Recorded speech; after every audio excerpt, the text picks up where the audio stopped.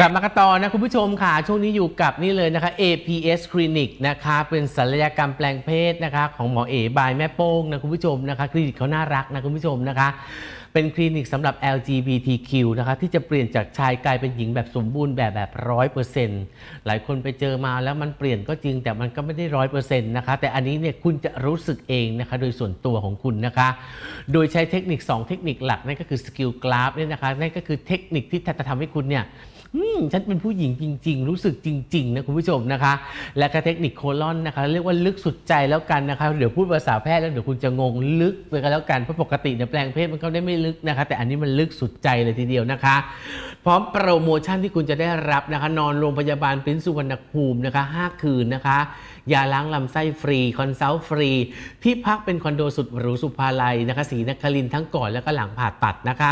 แนะนำพบแพทย์ปรึกษาก่อนแปลงเพศนะคะ สนใจนะคะปรึกษาฟรีได้ที่เบอร์นะคะ 0967826246 0967826246 หรือ Facebook นะคะศัลยกรรมแปลงเพศหมอเอนั่นเองคุณผู้ชมนะคะ มาในการประกวด Miss Cosmo นะคะ หลายคนก็ยังค้างคาใจว่าทำไมอินโดนีเซียได้ไปนะคะ ทั้งทั้งที่ในการรอบโต้วาทีสองคนสุดท้ายเนี่ยนะคะ ขอภาพขึ้นเลยนะคะ มุกทำได้แบบว่าดีมาก ๆ เลยทีเดียวนะคุณผู้ชมขานะคะ แต่เราก็ต้องเข้าใจนะคะว่าว่าอินโดนีเซียคนนี้เนี่ยมาในเวทีใหญ่ของการประกวดมิสบุตรีนะลันมาจากมิตรบุตรีอินโดนีเซียนะคะซึ่งเป็นเวทีใหญ่ถือลิขสิทธิ์ใหญ่เยอะนะคุณผู้ชมนะคะเขาก็มาซึ่งก่อนหน้านี้เนี่ยนางงามในรุ่นยุค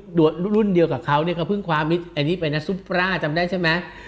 มิสซูปรานะคะถามว่าอินโดนีเซียคนนี้สวยไหมสวย ขาสวยทุกอย่างดีหมดนะคะ แต่ว่าตอนตอบคำถามเราก็ต้องยอมรับนะว่าสู้มุกไม่ได้ สู้ไม่ได้จริงๆนะคุณผู้ชมขานะคะ แล้วก็เวทีนี้มีแค่ที่ 1 และก็ที่ 2 นะคะทำละม้ายคล้ายมิสเวิลด์นะคะ คือเป็นการ mix and match นะคะเปิดตัวมาเหมือนมิสเอิร์ธนะ เปิดตัวมาเหมือนมิสเอิร์ธเลย คือเอิร์ธชัด ๆ เลยนะครับ ว่าจัดไปจัดมาก็เริ่มเป็นมิสอินเตอร์เนชั่นแนลจัดไปจัดมาผมว่าเริ่มเหมือนมิสเวิลด์เริ่มเหมือนมิสเวิลด์จัดไปจัดมาเริ่มเหมือนมิส USA คือเป็นการ mix and match ขึ้นมานะคุณผู้ชมขานะคะ ก็นี่แหละค่ะเขาได้น้องมุกไปนะคะได้รองอันดับหนึ่งไปนะคุณผู้ชมนะคะ ก็แสดงความยินดีกับลูกสาวด้วยเพราะมุกเป็นคนที่เก่งมาก พี่เต๋ายอมรับแล้วก็พี่เต๋าบอกเลยว่าบ้าน TPN เนี่ยของแม่ปุ้ยเนี่ยที่เก่งและน่ากลัวนะ มียายมุกเนี่ยแหละคนหนึ่งที่แบบว่าออร่าฉายแวว เพราะว่าเด็กคนนี้มันเป็นหัวใจนักสู้ ในห้องโดงห้องดำเนี่ยมันเป็นคนที่เก่งที่สุดเลยมุกเนี่ยมันพูดภาษาไทยภาษาอังกฤษมันโอ้มันพูดสองสองสองภาษาแบบไม่ผิดเพี้ยนภาษาไทยก็ชัดภาษาอังกฤษก็ชัดนะคะ ทีแรกพี่ก็ไม่ค่อยจะชอบมันนะตอนมันมาสมัครมิส s u นิเวิร์สไทยแลนด์พี่บอกว่าหน้ามันแก่ พอมันไปเจอตัวจริงนะ ที่บางบัวทองนะ ที่งานที่งานรวมรวมตัว ฉันบอกไปทำอะไรมาทำไมเธอสวยขึ้นบอกจริงหรือแม่บอกจริง หล่อนสวยขึ้น หล่อนสวยขึ้นเยอะเลย หล่อนดูไม่แก่ หล่อนดูสวยกว่าเดิมอีก แล้วเราก็มีความรู้สึกว่าเด็กคนนี้มันเป็นเด็กนิสัยดีน่ารัก แล้วก็เป็นหัวใจนักสู้ พี่เลี้ยงได้เด็กอย่างนี้สักห้าคนสิบคนนะพี่เลี้ยงไม่ต้องทำเฮียอะไรเลยนะ พี่เลี้ยงนั่งสบายใจอย่างเดียวหาแต่อ็อกเซสซอรี่กับเสื้อผ้าสวยๆให้เด็กใส่ เพราะเด็กคนนี้มันเก่งจริง ประกวดยังไงเนี่ยไม่หนักใจพี่เลี้ยงนะคะ และที่พี่เต๋าบอกเลยว่าอีกหน้าคนที่น่ากลัวกว่ามุกนะ พี่เต๋าบอกเลยว่าน่ากลัวกับมุกนะ แล้วก็การตอบคำถามเนี่ยช่ำชองแล้วมีคำที่แบบว่าคมคายอีกคนก็คือโอปอโอปอ เธอจำไว้เลยนะโอปอเนี่ยภาษาอังกฤษไฟแลบแล้วตอบคำถามเนี่ยสับแสลงเนี่ยเป็นศัพท์ที่คมทุกคมทุกคำพูดนะคะระวังโอปอไว้ให้ดีนะคะในการประกวด Miss Universe ที่เม็กซิโก ถ้าจับไม่ไม่กลัวพี่บอกเลย ถ้าจับไม่ไม่กลัวนะคะอะหลังจากที่น้องมุกเราได้รองอันดับ2 Miss Cosmo รองอันดับ1นะคะ Miss Cosmo นะคะเพจนางงามก็ทำภาพนะคะรวบรวมรองนางงามมาเขาก็เสียดายว่าทำไมมุกไม่ได้มันน่าจะได้นะคุณผู้ชมขานะคะ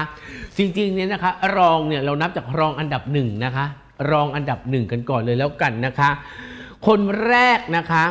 คนแรกนะคะนั่นก็คือ Miss International 2อ่า1971 นะคะ คุณสุภักดิ์ลิขิตกุลนะคะ ได้รองอันดับ 1 Miss International เราต้องยอมรับว่าในยุคนั้นเนี่ยนะคะ Miss International ก็เป็นยุคทองและยุค 70 นะคะ ฟิลิปปินส์ก็จะได้บ่อยมากนะคะ แต่ไทยเราก็เหมือนก็ทำดีขนาดไหน เขาก็ให้แค่รองอันดับ 1 ภาษาอังกฤษดีหุ่นดีสูง 170 นะคะ ปัจจุบันเนี่ยนะคะก็หลังจากประกวดเสร็จก็เล่นละครไม่กี่เรื่องเล่นภาพยนตร์ไม่กี่เรื่องแล้วก็ไปเป็นแอร์โฮสเตสนะคะอายุปัจจุบันก็น่าจะเยอะแล้วแต่สวยมาก เราก็ต้องยอมรับว่าถ้าเกิดเราส่งหน้าตาละม้ายตาสวยๆหวานๆอย่างนี้ไปนี่นะคะ ยังไงก็ไม่ตกนะคะ อีกหนึ่งคนนะคุณผู้ชมนะคะ รู้สึกว่าปีนั้นประกวดที่ประเทศจีนนะคะสำหรับ Miss International นะคะเราก็ได้ตำแหน่งรองอันดับหนึ่งผู้ชนะนี่ก็คือเวเนซุเอลาอีกหนึ่งคนนะคุณผู้ชมอันนี้เขาไปเองเลยนะคะ น้องนันลูกสาวดิฉันเองนะคะก็ได้รองอันดับหนึ่งมานั่นก็คือมิสซูปราเนชั่นแนล2012 นะคะ มิสซูปราเนชั่นแนลนันเป็นคนเปิดประตูนะคะ ได้รองอันดับหนึ่งนะคะ แล้วก็หลังจากนั้นเนี่ยนะคะไม่กี่ปีผ่านไปนะคุณผู้ชมนะอีก 2 ปีผ่านไปนะคะที่ลูกสาวดิฉันเองมงกุฎนี้ฉันก็ใส่มาแล้วนะคะ เป็นมงกุฎลวดนะคะรองอันดับหนึ่งนะคะปลาปรภัสสร ดิษดำรงนะคะมิสซูปราเนชั่นแนล2014 นะคะปลาเนี่ยนะคะเจ้าของอเจ้าของการประกวดมิสซูปราเนี่ยมาดูเองนะคะที่โรงแรมที่โรงแรมเซ็นทรัลตอนนั้นจัดที่ที่ที่เซ็นทรัลนะคะเซ็นทรา เจ้าของเกชื่ออะไรนะเกอร์ฮาร์ดเหรอเกฮาร์ดเกอร์ฮาร์ดอะไรมาดูเองแล้วเขาเลือกคนนี้เลยนะคะ เลือกคนนี้รู้สึกว่าจะมีสองเจ้าที่เลือกปลานะคะ นั่นก็คืออีกคนหนึ่งเป็นนางงามระดับโลกเขาจิ้มปลา แล้วก็มิสซูปราเจ้าของจิ้มปลานะคะ แล้วก็เขาก็เลยบอกว่าให้เอาปลาไปประกวดซูปรานะคะ หลังจากนั้นปลาก็ไม่ได้ทำให้ใครผิดหวังนะคะ ก็ตำแหน่งรองอันดับหนึ่งกลับมานะคะ และปีนั้นเนี่ยนะคะที่หนึ่งชื่ออาชาพาร์คซึ่งในวันนั้นเนี่ยอาชาพาร์คดูโทรมดูแก่ แต่ตัวจริงพี่เต๋าบอกเลยว่าโคตรสวย พอพี่เต๋าเจอตัวจริงอย่างอาชาพาร์คแล้ว แม่งโคตรสวยเลยนะคะ อีกคนหนึ่งนะคุณผู้ชมนะคะ อันนี้ก็ไม่ไม่พูดไม่ว่าแต่เป็นคนที่ใกล้มิสเวิลด์มากที่สุดนะคะนิโคลีนนะคะรองอันดับหนึ่งมิสเวิลด์2018 นะคะนิโคลีนนะคะเมื่อก่อนใกล้สุดเนี่ยจะเป็นแทนธัญญาสื่อสันติสุขนะคะจับมือแล้วนะคะมีอินเดียตุรกีนะคะไทยแลนด์ประกวดที่เซเชลนะคะ แต่อยู่ๆเขาโยนมงให้กับอินเดีย ถามว่าอินเดียสวยไหมนะคะไดอาน่าเฮเดนสวยมาก รองหนึ่งนิวซีแลนด์สวยไหมสวยมาก แต่ที่3เนี่ยมันควรจะเป็นไทยแลนด์ไม่ใช่เซาท์แอฟริกา ซึ่งมิสเวิลด์ในยุคนั้นเนี่ยนะคะมันก็มีปัญหาเรื่องการเมือง เพราะว่าเซาท์แอฟริกาเนี่ยเขาเป็นเจ้าภาพเก่าจัดมาเป็น 10 ปีที่ซันซิตี้นะคะส่วนอินเดียเนี่ยก็เพิ่งเซ็นลิขสิทธิ์นะคะถ่ายทอดสดไปนะคะซึ่งคนอินเดียดูกันเป็นพันๆล้านนะคะมาอีกคนนึงนะคะน้องน้องคนนี้เลยนะคะ สาวใต้สาวชุมพรนะคะก็ได้รองอันดับหนึ่งด้วยเช่นเดียวกันนะคุณผู้ชมนะคะ น้องอะไรนะ น้องนันเหรอชื่ออะไรนะจำไม่ได้แล้ว แพรวเออแพรวนะคะ แล้วอีกคนหนึ่งทำให้น้ำตากระเทยร้องไห้กันทั้งหอเลยนะคะแอนโทเนียโพซิลนะคะ แอนโทเนียโพซิลนี่ทุกคนแบบว่ามึงพลาดตรงไหน มึงไม่มีพลาดเลยอะมึงไม่ควรพลาดแล้วมึงก็ไม่เคยพลาดเลย ไม่ว่าจะเป็นเก็บตัวชุดลาปีชุดว่ายน้ำตอบคำถามการยืนโพสต์ทุกอย่าง ทุกอย่างดูเป็น international หมดนะไม่ได้พลาดเลย แต่ก็ได้แค่รองอันดับหนึ่งนะคะ อีกคนหนึ่งนะคะนั่นก็คือล่าสุดนะคะน้องมุกนะคะสำหรับเวทีเจ้าใหม่เจ้าแรกนะคะ ที่เกิดขึ้นบนโลกใบนี้นั่นก็คือ Miss Cosmo นะคะก็ถือว่าเป็นประวัติศาสตร์นะคุณผู้ชมอย่างน้อยก็มีมงกุฎกลับบ้านมานะคะ น้องมุกขาเป็นกำลังใจให้ลูกสาวทุกคนด้วยเช่นเดียวกันนะคุณผู้ชมคะนะคะ ในการประกวดนางงามนะคะอ่า แล้วหลายคนก็ตั้งคำถามว่ามุกเออทำไมมึงจับได้เนี่ยมันจับได้คนอื่นเขาจับได้คนนู้นคนนี้นะ จับได้ฮานงฮานาทนะ แต่มุกเนี่ยนะคะ มันดันไปจับได้คำถามของป้าพรนะคะป้าพรจอมขายแกงนะคุณผู้ชมนะคะเออและคำถามของป้าพรว่าถ้าได้เป็น Miss Cosmo คนแรกนะคะ ตั้งแต่ตอนนี้จนถึง 20 ปีคุณจะทำอะไรเพื่อให้เป็นมรดกให้กับเวทีนี้นะคะป้าพรถามและมุกก็บอกว่าเขาบอกสวัสดีไทยแลนด์นะขอภาพขึ้นค่ะ สวัสดีไทยแลนด์นะคะเขาบอกสวัสดีไทยแลยถ้าเป็นกูกูจะตอบว่าสวัสดีป้าพรนะคะ แต่มุกเขาเป็นเด็กน่ารักนะคะเขาก็เลยไม่พูดคำนี้ออกมานะคะเขาบอกมุกตอบว่าในฐานะ Miss Cosmo คนแรกของปี 2024 ฉันรู้สึกเป็นเกียรติอย่างยิ่งที่จะได้รับตำแหน่ง และสิ่งที่สำคัญมากก็คือการใช้โอกาสนี้และก็ แพลตฟอร์มนะคะ นี้อย่างชาญฉลาด ตัวอย่างเช่น ปีนี้เนี่ยเรามีกิจกรรมมากมายที่เกี่ยวข้องกับการสื่อสารในท้องถิ่นสำหรับฉันเองฉันทำงานอย่างใกล้ชิดกับนะคะชาวนาในท้องถิ่นในบ้านเกิดของฉัน และมักจะมองไปถึงการทำสิ่งต่างๆ ให้ใหญ่ขึ้นในอนาคต แต่ว่าจริง ๆ แล้วการเปลี่ยนแปลงเริ่มต้นจากภายในตัวเองตัวเรา ดังนั้นมันจึงสำคัญมากที่จะรู้สึกการเปลี่ยนแปลงเริ่มต้นจากคุณ จงริเริ่มการเปลี่ยนแปลงและจงจำไว้ว่า นั่นคือก้าวแรก เหมือนกับปีแรกของ Miss Inter Miss Cosmo นะคะขอบคุณค่ะนะคะอืมนะคะ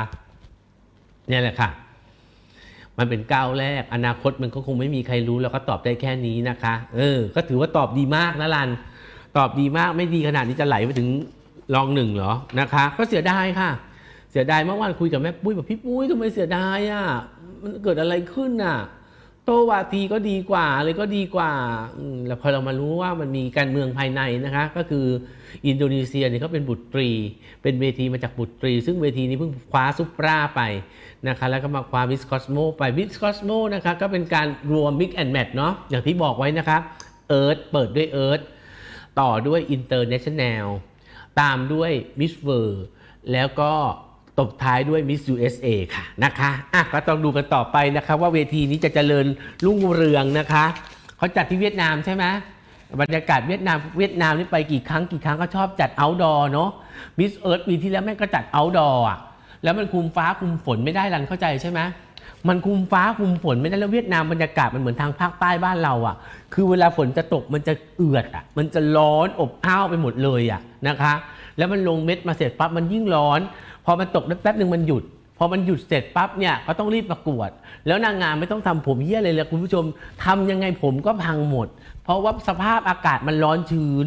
มันร้อนชื้นนะคะคุณผู้ชมขานะคะ ก็เนี่ยแหละค่ะคุณผู้ชมฝากไว้ด้วยนะคะคุณผู้ชมนะคะสำหรับการประกวดนะคะนางงามทั่วไปในประเทศเราตอนนี้ก็มีข่าวบางเวทีใช่ไหมอพยพแล้วนะคะ อาจจะเป็นเวทีไหนก็ติดตามข่าวเขาด้วยเช่นเดียวกันไม่ได้แซะนะ เพราะว่ามันเป็นข่าวดังที่เราอ่านสามารถอ่านได้นะคะ แต่ไม่อ่านนะคะ ช่วงนี้ต้องขอขอบคุณ APS Clinic นะคะศัลยกรรมแปลงเพศหมอเอ by แม่โป้งนะคะ เป็นคลินิกนะคะสำหรับ LGBTQ นะคะที่จะทำให้คุณเนี่ยเปลี่ยนจากชายกลายเป็นหญิงโดยสมบูรณ์แบบแบบร้อยเปอร์เซ็นต์นะคะ